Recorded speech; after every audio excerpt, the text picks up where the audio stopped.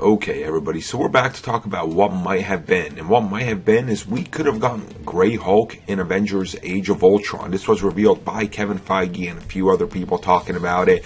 And apparently, he was a late stage removal in the movie. Now, a lot of rumors regarding this spec, you know, and speculation stuff started months ago. I remember I did a video that was pretty popular and um, just talking about, you know, the general idea of Grey Hulk and including him in a movie. Now, you know, why, why did they go back on this is the real big question everybody keeps asking. And I think the answer is a pretty simple one. Uh, confusion. honestly, that's really it.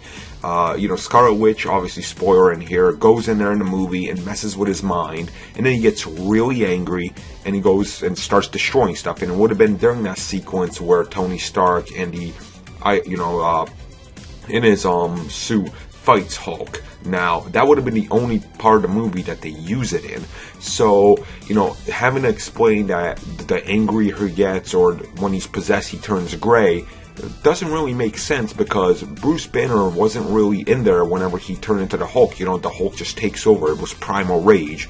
So then they would have had to explain that, you know, and there was probably parts of the movie cut out that actually would have explained that, but they had to hit that, you know, quicker time instead of the original three and a half hour cut that Joss Whedon had. So everything kind of really makes sense when you just think about it logically. Now, I think personally I would have liked to see Grey Hulk. You know, I think it's a very cool nod back to the original Hulk. But then again, you know, like I say, it just would have been a little confusing.